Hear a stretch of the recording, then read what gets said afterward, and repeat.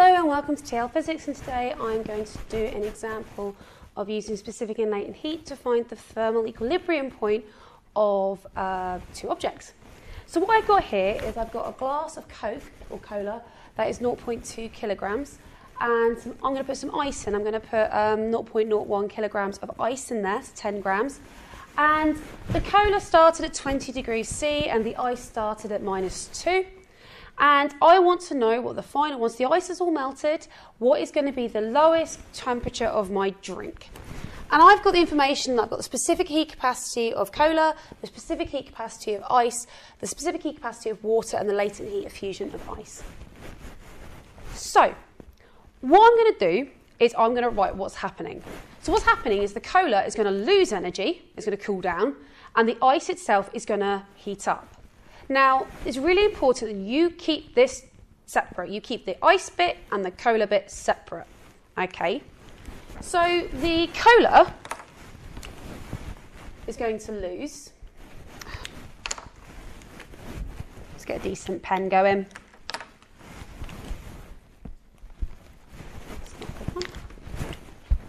Lose energy but it's going to be staying a liquid the whole way through.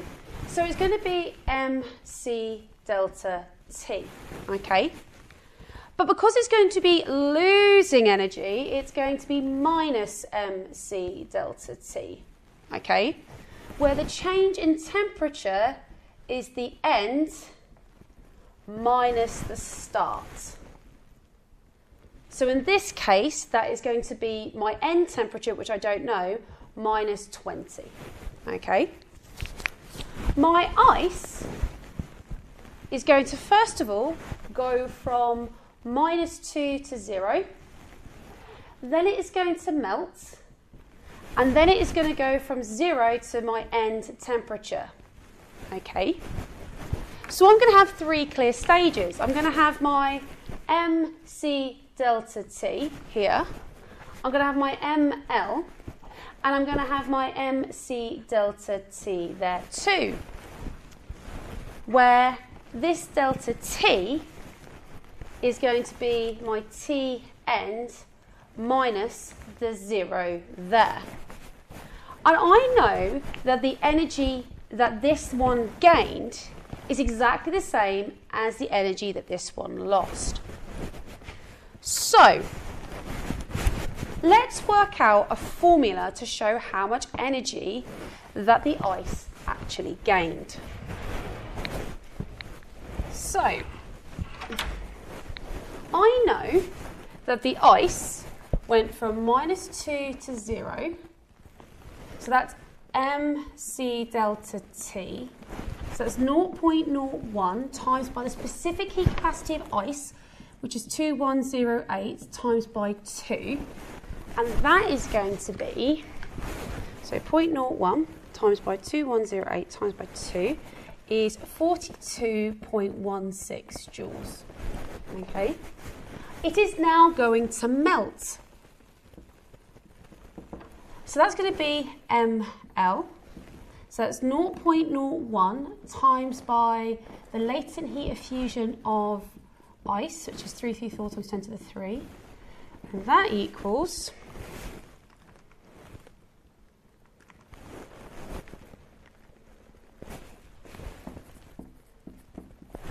and then I'm going to be heating up again. I'm going to be um, getting bigger, but I don't know what to this time. But I know I'm going from zero to my end temperature. Okay, so it's going to be mc delta t. So that's going to be mc t end minus zero, which is going to be MCT end. Okay. Uh, so that's going to be the specific heat capacity of water, which is 4,200, 5.1, 42. Because I don't know what the end temperature is. So I know in total I have this plus this plus this. So in total, okay, so in total, let's grab a decent pen, I have got 3,382.16 plus 42 T end joules. And that is what I have gained. And I know that's going to be equal to whatever the cola lost. So let's put this on here.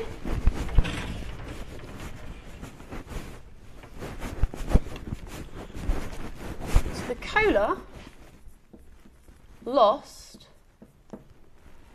minus mc delta t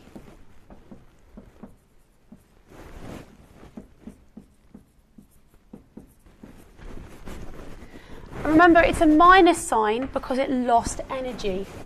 So it's going to be minus 0.0, 0.2, sorry, times 3,000, I believe 900.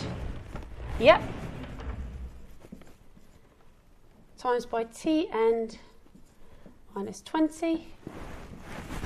Let's get a calculator, this one. So 0.2 times by 3,900, so 780 t end minus 20, which equals minus 780 t end minus or plus 15600. So I know that this formula for the energy the cola lost equals that one there.